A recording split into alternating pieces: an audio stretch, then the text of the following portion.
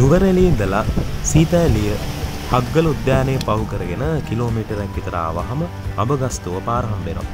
මේ පාරෙන් කිලෝමීටර් හතරක් ගියාට පස්සේ උඩු හවර පාර හම්බෙනවා.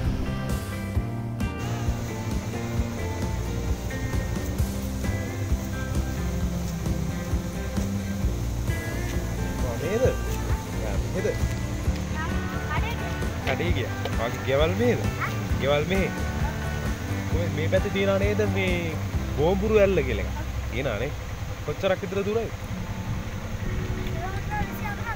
24 ඔක්කේ අම්මු. ආහ්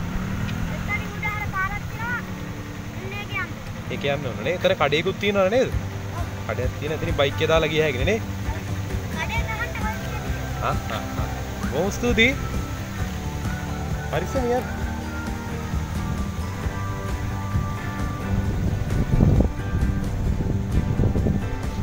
තමයි යන්න ඕන පාර. මෝගුරු ඇල්ල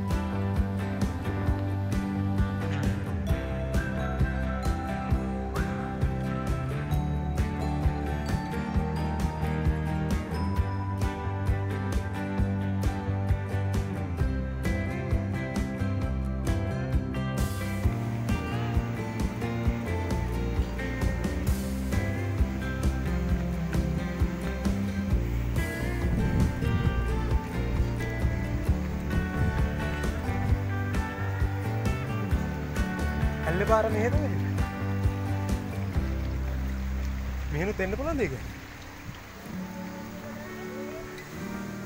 මේ පැත්තෙන් එන්නේ කොහොමද ආ මෙහෙනුත් එන්න. ගමු ගෝපුරු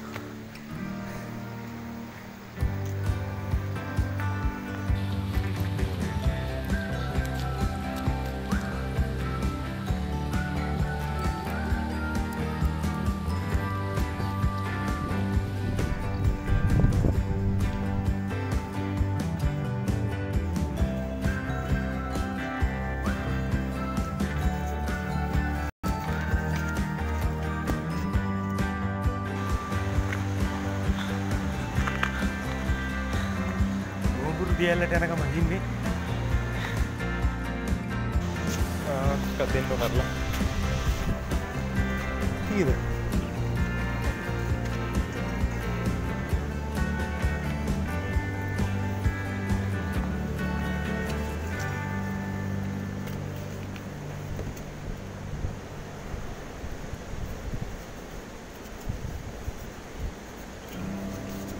මෙහෙට කියන ගම් මොකද්ද? බො- ගම බෝඹුරු ඇල්ල. ගමත් බෝඹුරු ඇල්ලනේ. ආ ඒක නිසා තමයි බෝඹුරු ඇල්ල කියලා කියන්නේ.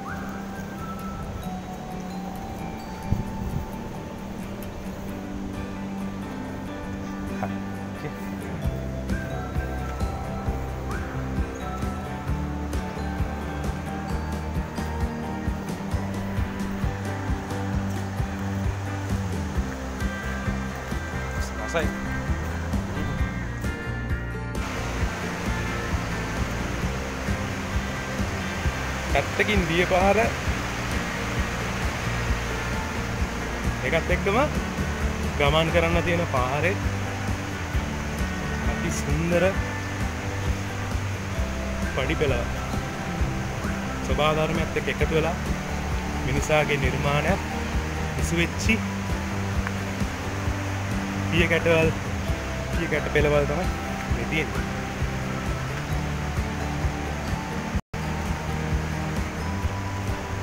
ජල යෝජනා ක්‍රමයකුත් ඇති මං හිතන්නේ. දෙපැත්තෙම තියෙනවා. වතුර ගෙනියන බට. තාම දියල්ලට ළඟා වෙන ගමන් ඉන්නේ.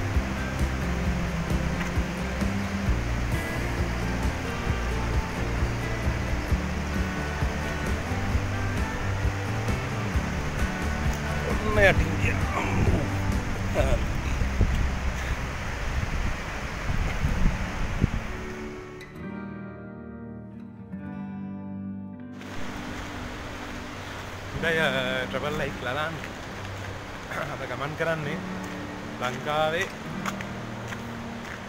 පලලින් වැඩීම දියල්ල බලන්න. බෝම්බුරු දියල්ල බලන්න තමයි යන්නේ. මේක තියෙන ග්‍රාමයක් බෝම්බුරු. අල්ලගෙන ග්‍රාමයම තමයි. ඉතින් මේ දියල්ල උසනං ලොකු සක් නෑ. මීටර් 50ක් වගේ තමයි දියල්ල උස වෙන්නේ. මේ දියල්ලේ වතුර මේ විදියට ගලාගෙන ගිහිල්ලා මා මා ඔයට එකතු වෙනවා. දන්නවනේ මා ආයට එකතු වෙච්ච මේ වතුර ඊට පස්සේ එකතු වෙනවා.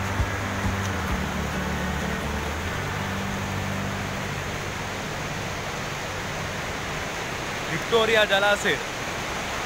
වික්ටෝරියා ජලාශයට එකතු වෙච්ච මේ ජලය ඊට පස්සේ වික්ටෝරියා ජලාශයෙන් එක කොටසක් යනවා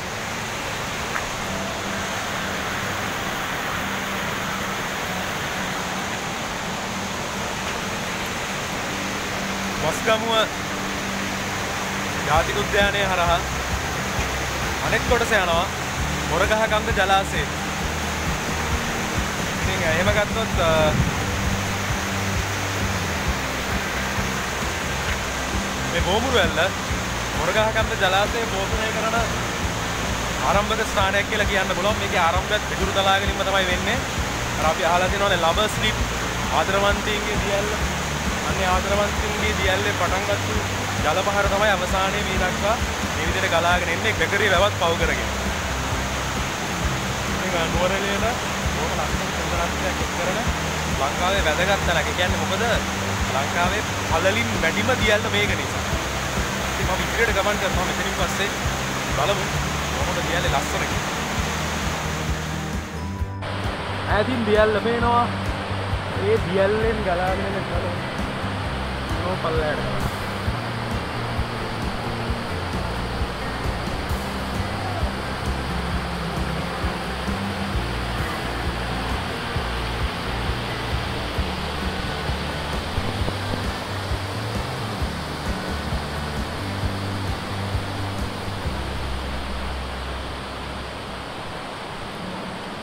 අර උඩින් තමයි අපි ගමන් කරන්න ඕන ගමන් මාර්ගය තියෙන්නේ.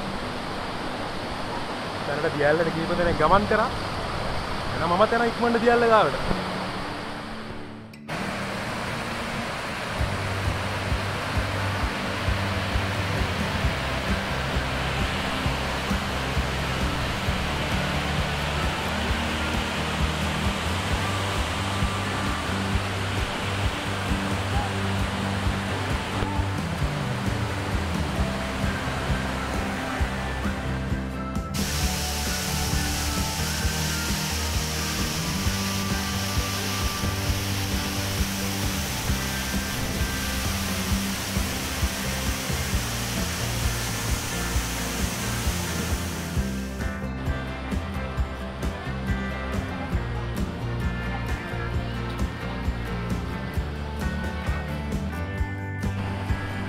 ලෝකයට යන ගමන් ඉන්නේ. දිව්‍ය ලෝකයට යන පාර. ඔන්න දිව්‍ය ලෝකයට යනවා. ඔන්න දිව්‍ය ලෝකයේ පේනවා.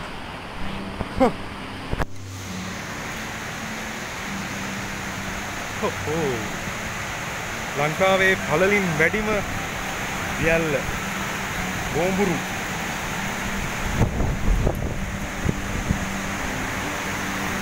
බෝම්බුරු දියල්ලේ පාමුල තමයි ඔයගොල්ලෝ දකින්නේ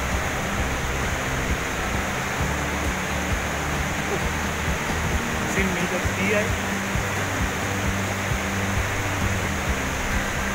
අපිට දෙන පුංචි නවසීලන්තේ තන 20ක් වගේ එතන ගොඩක් අය කැම්පින් කරනවා ඒයි තහනම් කරන්නේ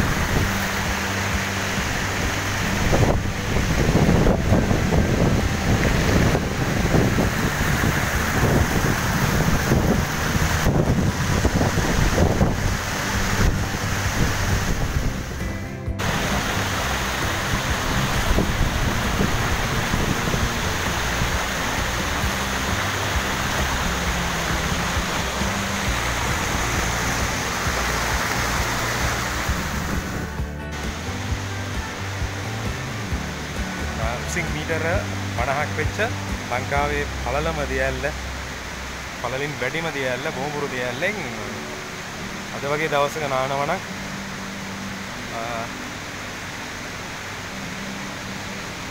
ජීවිත ආසාව නැති කරගන්න වෙයි ඔයගොල්ලන්ට. ඇත්තටම අද වතුර ප්‍රමාණය ගොඩක් වැඩි. නානාදියා ආසාවෙන් ආව එහා පැත්තට යන්න පුළුවන් මේ කියලා ඒ පැත්තට ය아가න්නවත් විදිහක් නැහැ වතුර දුකම සැරයි. ඉතින් මෙවැනි ලස්සන දියැලක් මම හිතන්නේ ආයි දකින්න හම්බෙයි කියලා. බේකස් දියැලක් මේ විදිහට ගල් පරය පුරාවටම ආවට මෙච්චර උසක් නෑ බේකස් දියැල මීටර 20ක් වගේ තමයි උස වෙන්නේ. මේ දියැල මීටර 50ක් උසයි. මුරු දියැලේ අවට පරිසරයක් කොහොම ලස්සනයි. ඔයගොල්ලෝ දෙන්න ස්වභාව සෞන්දර්යය ඉඳ ගන්න කොළඹ ජීවිතේ ඉඳලා ඇවිල්ලා මෙන්න මේ විදිහට දෙත් වෙන්න. ඉතින් මේ ජලවාස් පැවිලා රැඳෙනවා ෆෝන් එකේ.